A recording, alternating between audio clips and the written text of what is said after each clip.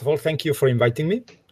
It's uh, an honor um, and a pleasure, actually, to participate in such initiatives. So, very happy. Um, so officially, I'm I'm a researcher at CREAF, which is a res uh, research lab in in in Barcelona, uh, and also I'm uh, an ecology lecturer at the Autonomous University of Barcelona. Um, in the case of this uh, of this talk, may, it may be relevant that i I'm the coordinator of the Network for European Mountain Research, and and I've been involved in in, in mountain networks for for some years. I've been uh, part of the scientific committee of the um, uh, uh, Pyrenean Observatory of Climate Change for many years, actually, and I'm also a member of uh, Euromontana. I'm an ecologist, basically. So, so my expertise is in, um, let's say, mountain ecology. And yes, I've been involved in research in the mountain environment for the last maybe um, more than 10 years. I've been running project, projects, but I start, but let's say that I, my, my background as a researcher is not in mountains nor in, uh, let's say, uh, animal ecology. I started doing my PhD in plant ecology. I worked with fine roots. Then I became a kind of expert of dendrochronology.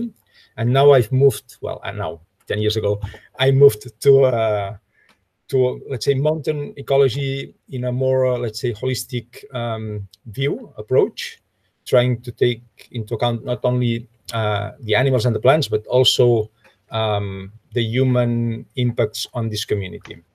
And yeah, so so I've been involved in. I've worked with uh, um, invasive, well, intro, introduced species like uh, marmots, and trying to see which was the effect of this introduction or reintroduction because they were here 10,000 years ago um, on the community. And we worked on the different interactions that marmots had in the community. We also studied uh, plans, and since 2016, I'm running a project, a very complete project, which is uh, funded by the Earthwatch Institute, in which we we which takes place in the Pyrenees actually, and where we study not the whole community because because it's impossible. But we go from soil um, the soil community to large mammals. We also uh, work with uh, tree growth, seedlings, um, small mammals, birds. So we we we do a little bit of everything, and and and in the frame of a of a in a place where human impact is quite big because it's in Andorra. So it's a very touristic area, and and and tourism is very seasonal. So we can we can try we can we try to understand how how all these things um, connect to each other. This in terms of research, actually. I think these kind of networks are important um, basically in, in, two ways. One of them is because uh, since science now is very global, it helps us connect to each other. And that's, that's for us, is very important. So every time we have to find experts of a given uh, field, we don't need to start looking around. We have these networks and and this helps a lot uh, finding synergies among us and and and make science better uh, theoretically. Um, so this on one hand, but on the other hand, I think the, the way science is built now, where um, you have to find, you have to put your your field in the map, let's say, um, these networks um, act as a kind of lobby or just just um, um, facilitate the presence of a given uh, field, let's say mountains, in in in the world where decisions are taken, right? It can be uh, European. For example, NEMOR has an European view, so uh, NEMOR wants to put the mountains uh, in the agenda of European research. But and the the Pyrenean Observatory of Climate Change that I mentioned earlier wants to put the Pyrenees in the agenda of transnational um, uh, because in this case the Pyrenees are transnational, of course, but in transnational uh, research agendas. Um, also, it can have an effect at the, uh, let's say, in, in, our case, at an autonomic level, sub, subnational level, etc. So, um, so I think that they are really important because otherwise nobody would know that we exist, and and this is because of the way science is built now, right? I mean, you have to um, uh, show and continuously demonstrate that your thing is important. Uh, it's not, let's say, it's not enough that you believe that it's important, because of course we all do, but we also have to show because um, there's there's many interesting things in the world, of course. So we have to put our thing in the map of, of the of the global research agenda. I think that um, here we have to to address uh, the framework of the of that's that the Millennium Ecosystem uh, uh, assessment did. Like uh, we have to talk about when we think when we talk about uh, why are mountains or whatever important for for the society. Here we have to talk about ecosystem services, which basically is the way we as a society use uh, whatever topic. And in the case of mountains, I think they have a, a, very special characteristic is that if you if you do a list of let's say most or all the or most of the ecosystem services, mountains uh, are related very importantly or not that importantly related to all of them actually. And and just to mention i mean if you remember if you have this this framework in in mind there's uh, provisioning services the regulating services and the cultural services. And if you think on provisioning services we take wood from uh, mountains uh, most of the clean energy is uh, originated in mountains um, we have pastures for, for, for herbivores, for the agriculture. Uh, it's where water is stored. It's mountains are biodiversity hotspots. All these are services from from the mountains. Then in in the in the section, let's say, of regulating services, we have water filtration, climate regulation, regulation of uh, erosion, landslides, etc. And and finally, but not least important, is there's this cultural services. And, and when you think on mountains, uh, it's, places to escape from cities, is where you find the peace. Or there's people that go there for bird watching or, uh, uh, you know, um, having fun, spiritual uh, uh, things, cultural, and and and mountains have, to a greater minor extent, all of these services. They offer all these to to us as a society and and and I think that's that's maybe it's not the only ecosystem that or region that that has that much to offer, but but but there's not many like this. I think in Nemor we have this very clear in our minds. We think we we of course we are focused on mountains, but paying special attention uh, on the links between the mountains and the lowlands. Uh, now I, th I think that uh, the the dependence between let's say these two groups is too much uh, unilat unilateral. Let's say mountains depend too much um, on the lowlands, and and we should balance this a little bit. Uh, but yeah, of course, I mean it's absolutely linked. I mean, and people that live in the cities that never go to mountains probably do not realize that that many things that they are doing using or eating like high quality cheese or whatever comes from the mountains. This is important. And of course, this is in line of what we just uh, were talking about. Of course, I mean, mountains are different from coasts, deserts, etc., right? And, and mountains are normally assumed to be similar to rural areas, but uh, but they are not. I mean, of course, there's some some overlap, but there's things that differentiate mountain regions from rural regions, and just to make a short list, probably we have, well, there's probably big cities in, in mountain areas. Think on Switzerland, for example. Uh, you have big cities in, in mountain areas, and this creates lots of, um, uh, of disconnections that were mentioned. Um, then, of course, it's where water is stored and most of the runoff comes from mountains, which doesn't happen necessarily in rural areas. Um, it's where most of the natural hazards occur or originate. You think on landslide or floodings, eh, they or snow avalanche, they either happen in mountains or have the origin in mountains. Um, of course, I mentioned earlier that they are biodiversity hotspots. If you if you think about the Natura, if you look at the Natura 2000 sites, many, many, many of them are in mountains. And we know that uh, globally, for example, mountains uh, host uh, around, I don't know the numbers exactly, but around 80 or more than 80% of the uh, amphibians, mammals, and birds of the world. And, um, and, and, and also, uh, what differentiates mountains from, from other areas like uh, rural areas is that it's the potential for clean energy. I mean, hydropower energy, wind energy, um, it has a huge potential in mountain in mountain areas. Um, and and finally, well, I also said it earlier, but I think it's important. I mean, for me, mountains are or can be because if you go to a ski resort, it's not the case, but uh, mountains can be places of peace. It's where you you you find yourself like maybe maybe in in like the coast or the beach if it's not crowded right i mean you you think you belong to something but also you you know that you are not that i mean that this is huge and you are nothing in this world right? I mean just a small part uh, in a in a huge world that's probably more powerful than you. And um, and probably that's why there are so many sacred mountains for example or many uh, temples are in mountains or whatever because it's places that have something whatever you call it. But uh, but where you are alone in the middle of huge valleys. There's something that you feel there that you don't feel anywhere else.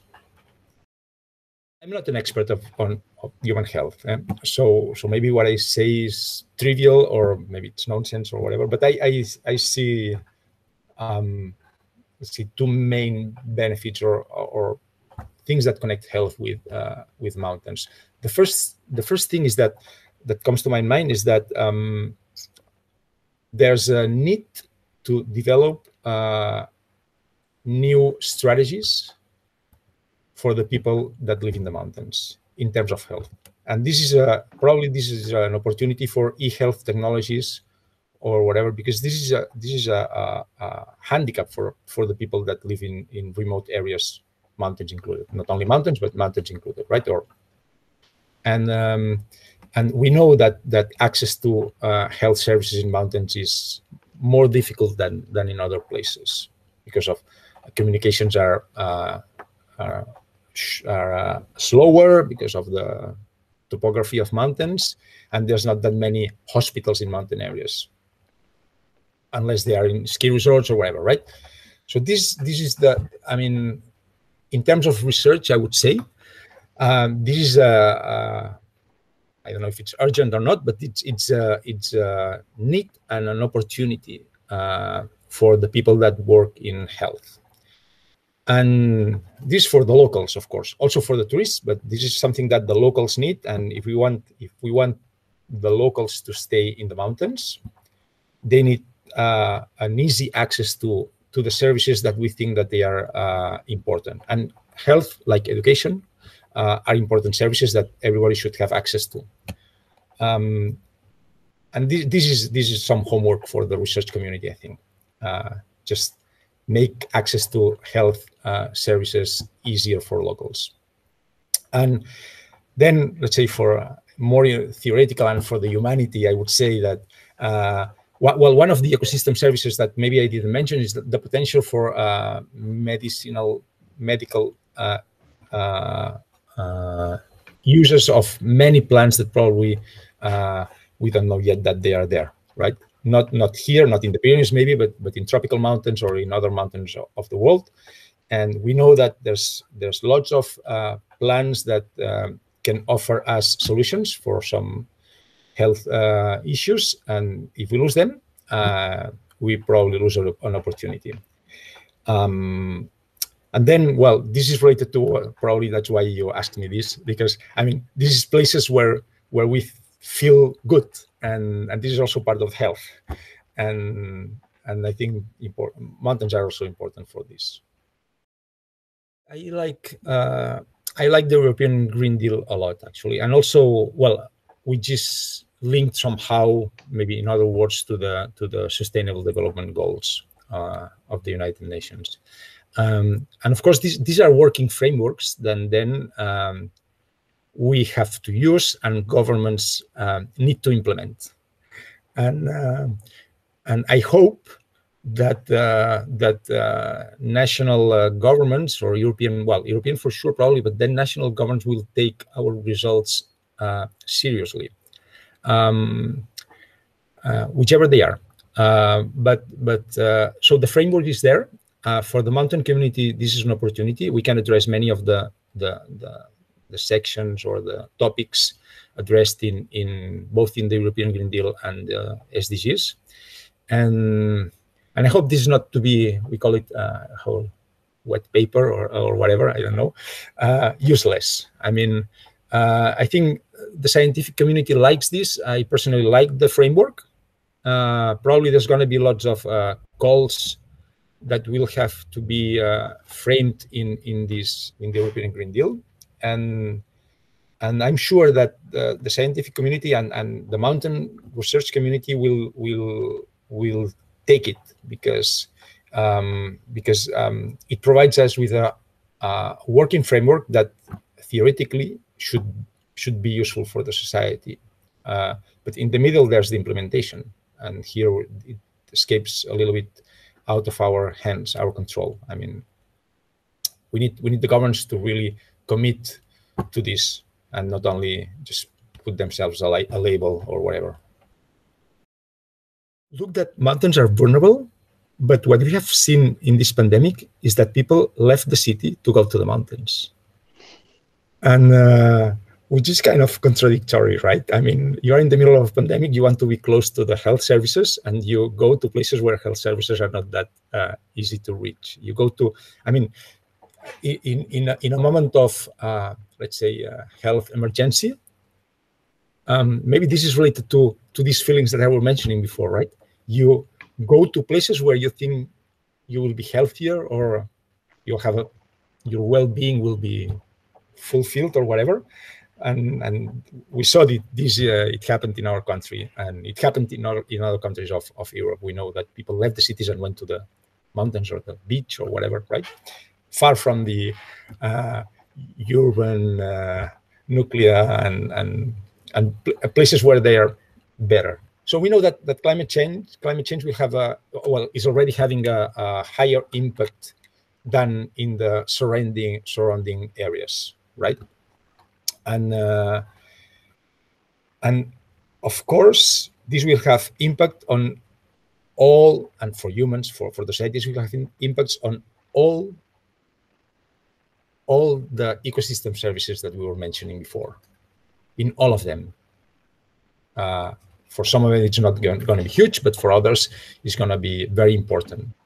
Um, can be uh, just the increase of temperature, even if precipitation does not decrease, that that means an increase of evapotranspiration, which means less water, uh, which means less snow. Well, less water available, not, not only for plants and animals, but also for humans, maybe someday, um, which will require uh, new management strategies, for example, for water resources. Uh, water will be stocked in the mountains, but the people that will need are in the cities, or most of the people. What do how do we manage it? Uh, also, for biodiversity, water is important, of course. Then we have um, uh, tourism, ski tourism. They will have to reinvent themselves, of course, if there's no snow um, or less snow.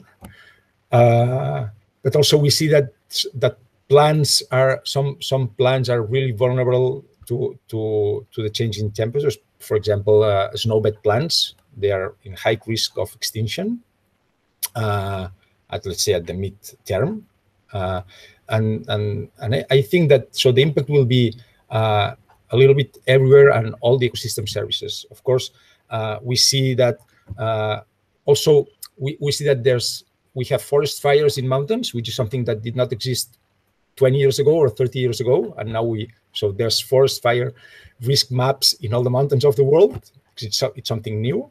And actually, due to the slope, much more dangerous than in flatlands in terms of spreading. Um, we won't have glaciers. Uh, all the species that are linked to glaciers will have a bad time, let's say. And we see that there's lots of uh, uh, so uh, forests are getting denser and moving a little bit upwards, and we see that this this this is not only due to climate change. This is due to the the, the abandonment of traditional practices like high elevation uh, grazing or the loss of farms, but the fact that temperatures are a bit better or higher for this better for these species, they move upwards and they grow better, and so this creates more dense forests, uh, which in the case of fire is is more dangerous, but also this is a refugee for. Uh, refuge for uh, large mammals, uh, large herbivores, and also large carnivores.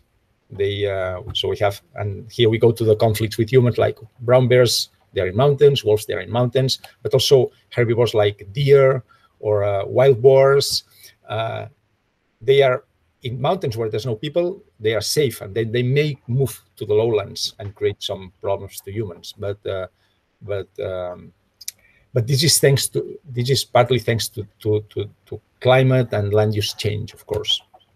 Um, yeah, I so so so I think that that uh, since since mountains are let's say uh, what we call social ecological systems, it's not it's not a, a natural community. Mountains, it's a region that includes everything, so everything is super connected, and and and climate change will affect to all the the, the, the components of this of this system uh, that will affect humans in many different ways.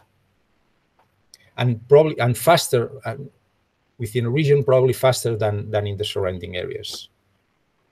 Well it's very difficult to, to, to make generalizations here but we know that the increase of temperature is higher in the mountains due to the uh, climatic compression or whatever. This is higher in, in the mountains than, than in the lowlands I think that we as individuals uh, have the potential to do things. Um, and we must do things. But also, I think that uh, we will fail if we don't have the uh, cooperation of our governments that need to take brave uh, actions, let's say. And maybe they are not very nice for the society, but they need to move uh, fast. They need to make decisions fast. Um, so, in, ter in terms of individual actions, well, this is not only for mountains, of course, this is for climate change is, is everywhere. So, but I would say that um, so typical things like less private transport, uh, probably local food. Well, not only local, but low carbon footprint food. Local, if it's local, better. Um, probably for the scientists, uh, people will fly less, or at least try not to fly uh, many transoceanic uh, flights, which uh, have a huge carbon footprint, of course. Uh, it, less meat, probably it's also a good solution. Uh, but and and and think and then vote um, for parties that, at least theoretically, um, take this into account. but again, I mean, this is this is a this needs a multi-actor, let's say, approach. So if it, I think, um, in in the in the state of emergency that we are now, it's not. I mean, if we if it's only the individuals, it's gonna be too slow. For sure, it's it's it's what makes things uh, stronger. Uh, but uh, but if models are true, are correct, uh, we need the cooperation of of our governments, of course here we, we live in a country where, where uh, uh, maritime transport is very important, and we know that uh, pollution from from the from the harbors is huge. Uh, there has to be, but this has to be from the governments. Uh, maybe taxes uh, have to be implemented, so which are not very well received by the society, but probably it's these kind of actions that need to be taken into account. I don't know. And, and in terms of adaptation, again, this needs uh, the uh, cooperation of the governments because so it's clear that the, the society needs to adapt, both um, both the locals and the and the visitors, let's say. The locals need to adapt to a new environment that's changing a lot.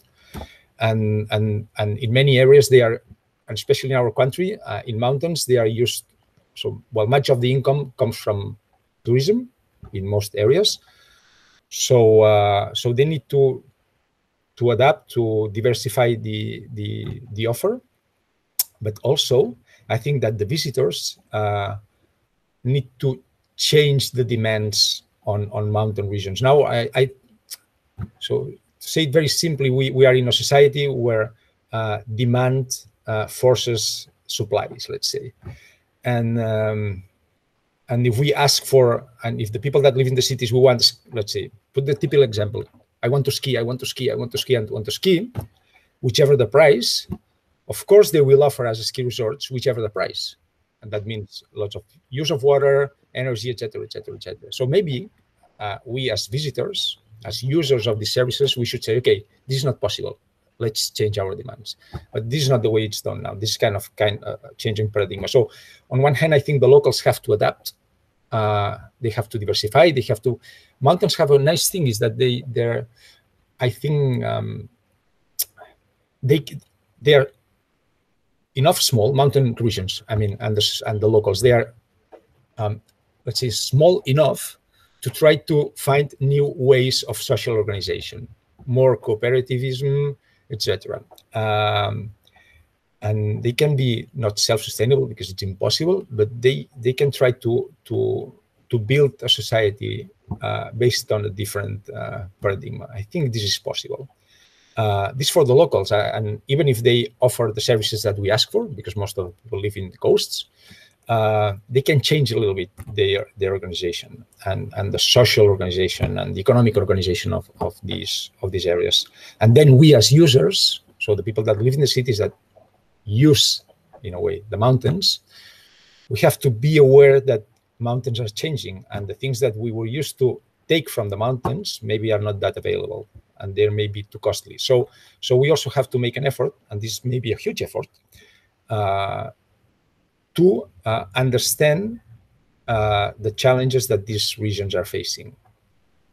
And and for them, it's it's it's more difficult than for the people that live in the cities because most of the decisions are taken in the big cities.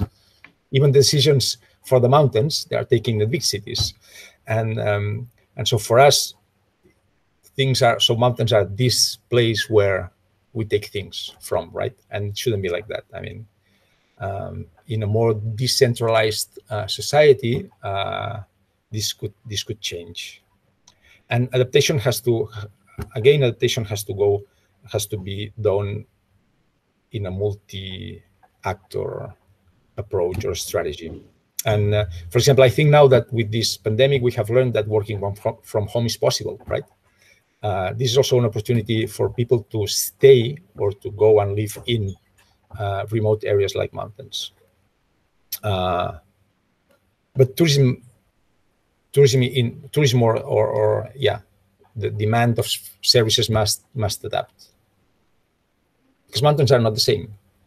Even even during our lifespan, we have seen that mountains are changing a lot. Mountain regions are changing a lot. Well, I think that uh, mountains, uh, since well, I mentioned before that they are they are what we call a socio-ecological system, and they they have they include almost anything that you can imagine. You can work uh, for the mountains, being a, an IT guy or a farmer or a, an ecologist or an economist or a social scientist. There's there's places where you can you can uh, find your place um, to make our society better. Um, also because you will have to uh, uh, to collaborate with many different people because in mountains things are very close, right? As as these systems and and and development, sustainable develop, sustainable development is not possible without the collaboration between the different uh, sectors.